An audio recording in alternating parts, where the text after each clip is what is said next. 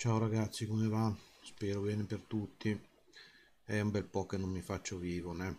E casi della, casi della vita, per carità, non è mica successo niente, semplicemente tanti impegni, tante cose. E mi è stato difficile sia andare un po' in giro a camminare, fare, che fare qualche video così, anche solo informativo.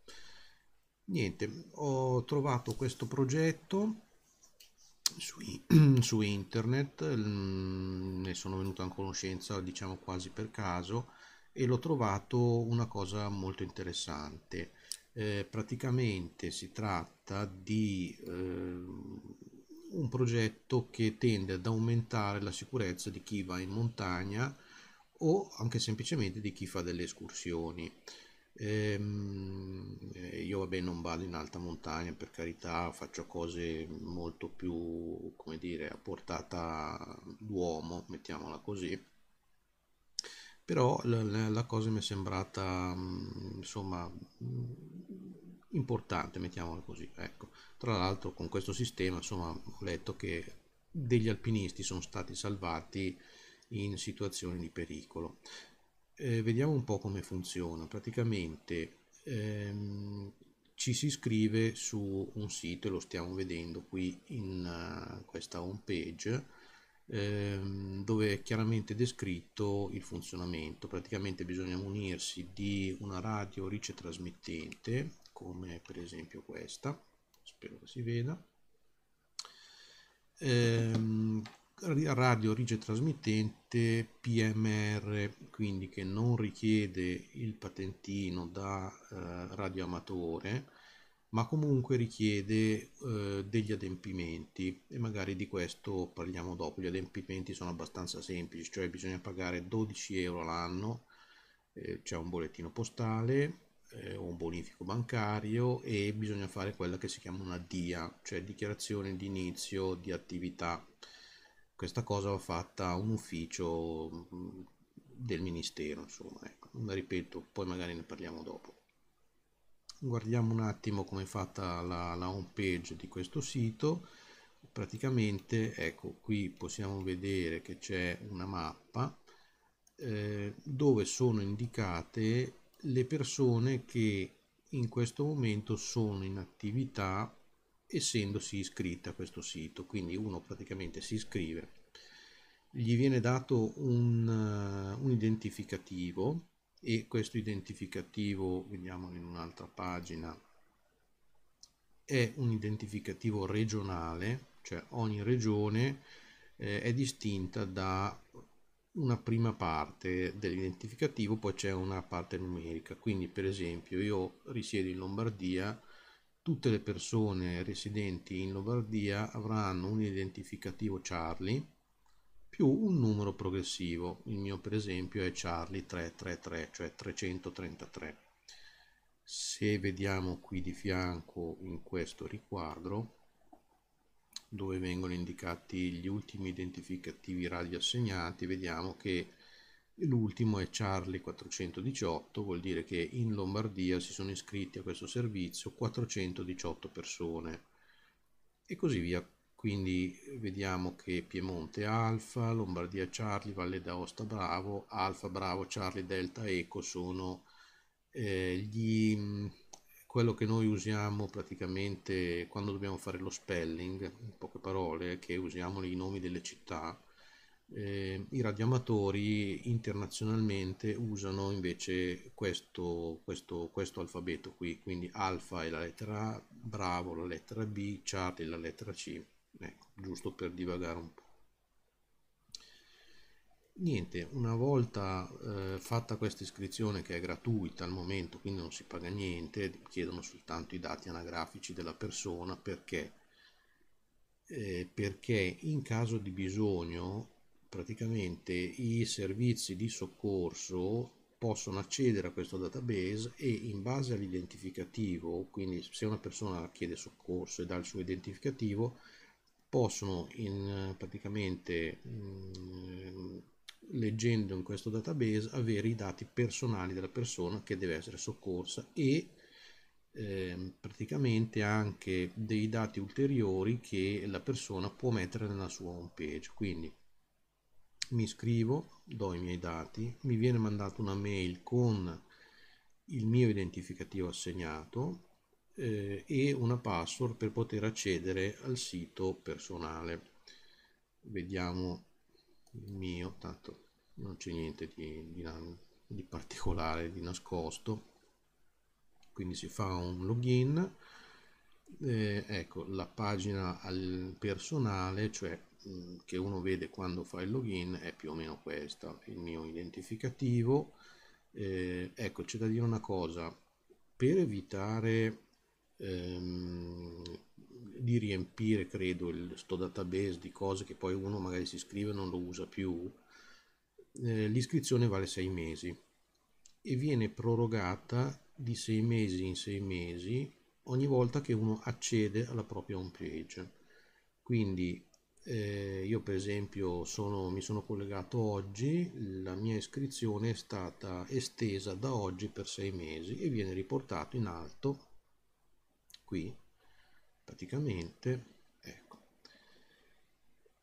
Sotto è possibile eh, e vabbè si può accedere direttamente da qui ma comunque anche adesso mh, non mi ricordo se dall'alto vabbè insomma comunque si possono inserire i famosi numeri ICE, ICE cioè in caso di emergenza. Quindi c'è un modulino dove posso inserire i numeri che voglio che vengano chiamati nel caso io abbia un'emergenza. Quindi non so il numero della moglie il, il, cellulare della moglie piuttosto che della fidanzata di un fratello di un parente di un qualcuno che se io dovessi avere un'emergenza loro quindi questi dati vengono passati ai servizi di emergenza possono contattare cosa succede? Che partendo, vabbè qui c'è una serie di statistiche, utenti attivi in questo momento sono le 7 di sera, ce ne sono 19 e sono quelli che abbiamo visto praticamente qua, questi, queste, questi qua, che possono essere sia stazioni di ascolto, quindi uno può dalla sua casa tenere accesa la radio e ricevere eventuali richieste di, eh, di, soccorso perché la cosa non è che c'è una centrale operativa cioè sono mh, mm, tutte le persone che si sono iscritte a questo servizio chiamiamolo così che tenendo accese le proprie radio quando vanno a fare un'escursione e eventualmente ripeto anche dalle loro case trovandosi in zona vicino a dove normalmente le persone fanno escursioni. Quindi qui possiamo vedere eh, per esempio Torino è ai piedi delle montagne, quindi persone che abitano da queste parti possono tenere accese le proprie radio e ricevere le richieste delle persone che stanno facendo delle escursioni che si dovessero trovare in difficoltà. Attenzione, il, nel sito è ben chiaro, eh, cioè, questa cosa è da usarsi nel momento in cui uno eh, non riesca a contattare il servizio di soccorso con altri mezzi, cioè comunque uno si porta il cellulare, però è chiaro che in molte zone montuose il cellulare purtroppo non ce la fa, cioè non, non prende perché non ci sono le stazioni e torri, quello che serve insomma per farli funzionare. In quel caso appunto si può utilizzare questo servizio, quindi chiamare qualcun altro che sta, cioè, che è in ascolto sulla radio e chiedere soccorso. Ripeto, eh, la cosa ha funzionato, eh, perché se andiamo giù, ecco qui c'è una mappa con gli iscritti praticamente. Regione per regione più o meno.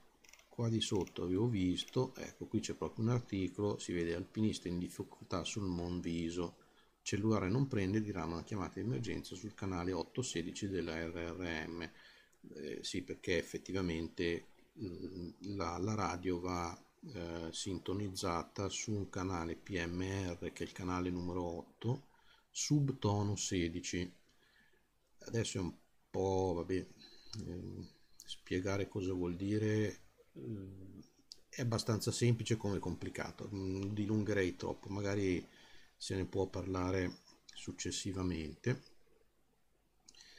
E comunque nel sito è scritto bene, le, le istruzioni ci sono, eh? non è che uno va lì così perché mh, sopra qui c'è proprio scritto non so come partecipare, cosa c'è da sapere, cosa bisogna fare appunto per eh, poter utilizzare una radio e tutte queste cose qua. Quindi ritorniamo un attimo nella pagina personale.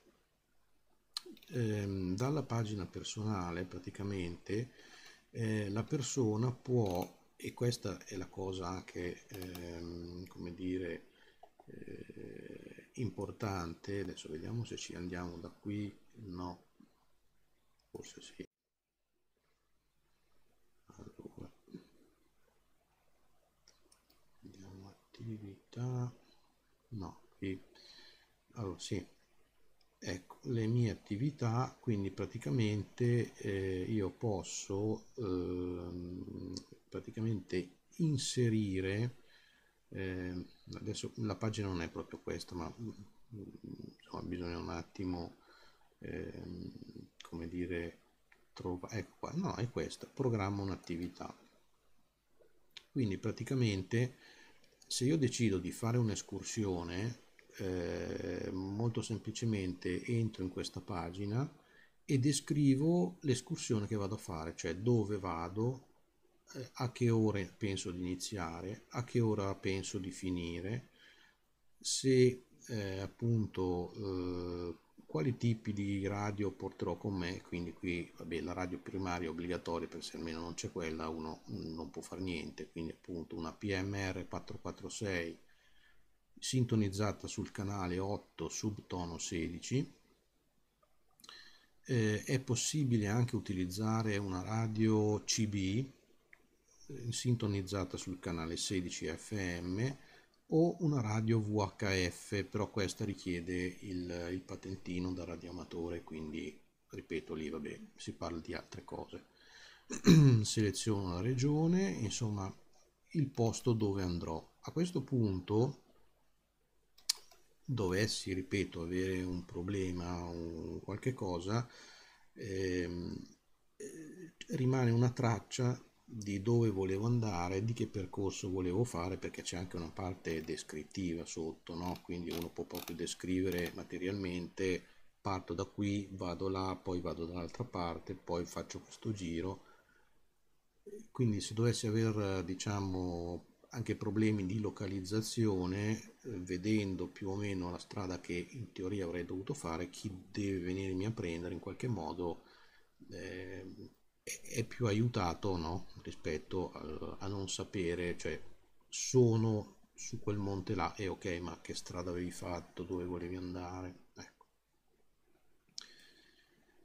Niente, eh, cos'altro si può dire? Mm, mi sembra più o meno di aver detto tutto, mm, tutto, cioè bisogna, mm, cioè, le, le, parti salienti, mettiamola così. Ecco. Ehm, per il quanto riguarda appunto l'utilizzo e de, de, delle radio PMR, ripeto, eh, sono di libera vendita, sono di libera detenzione, ma l'uso, quindi l'uso l'accendo e ci parlo, non è, cioè è libero ma soggetto a questa specie, non dico di permesso perché non è così, ma di eh, adempimento, quindi pagare 12 euro di, che loro non dicono che non è una tassa ma è un contributo di controllo e fare questa DIA cioè la dichiarazione di inizio attività. Nel caso non fosse sufficiente quello che c'è scritto sul, sul, sito della rete eh, montana, eh, io ho scritto una, insomma, un riassunto di quello che sono riuscito a capire nel, nel mio sito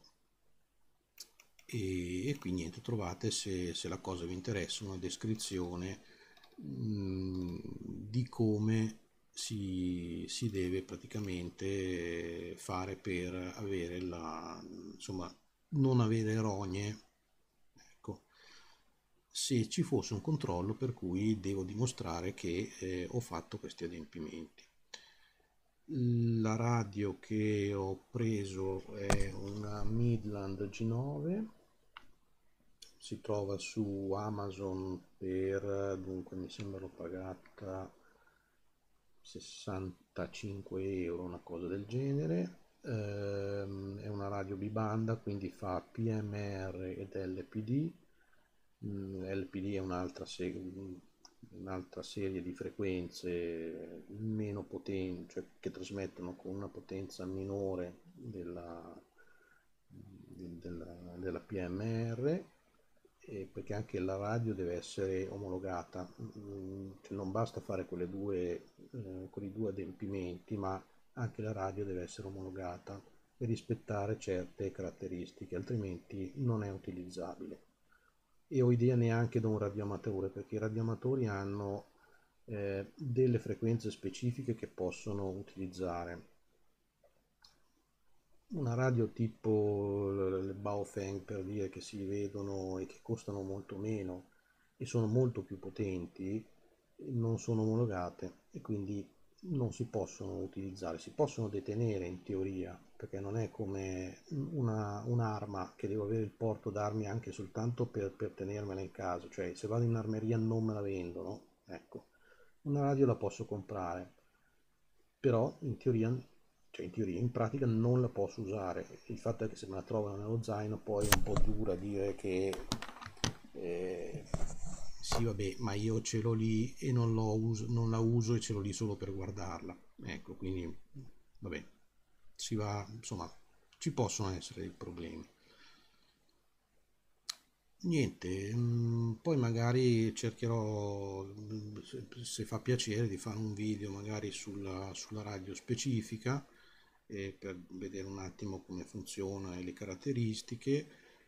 Mm, pur essendo una radio di limitata potenza, eh, mi è capitato da dove abito, e stiamo parlando della provincia di Milano, di sentire persone che stavano sul Monte San Primo. Eh, il Monte San Primo, per capirci, è più o meno da queste parti qua. E io sto da queste parti qua e siamo a un, una sessantina di chilometri di distanza in linea d'aria. Questo perché queste radio praticamente in città al massimo fanno un chilometro tra i palazzi. In aperta campagna piatta da uno all'altro possono arrivare sui 5 chilometri. Se, se invece uno dei due sta in alto, tutte e due si sta in alto, si possono fare tranquillamente anche 40 km di distanza tra uno e l'altro, cioè bisogna essere praticamente in vista in linea d'aria senza ostacoli in mezzo. Ecco. Niente, se c'è qualche domanda, mm, ben volentieri e se no ci sentiamo alla prossima e spero il più presto possibile. Ciao a tutti e alla prossima.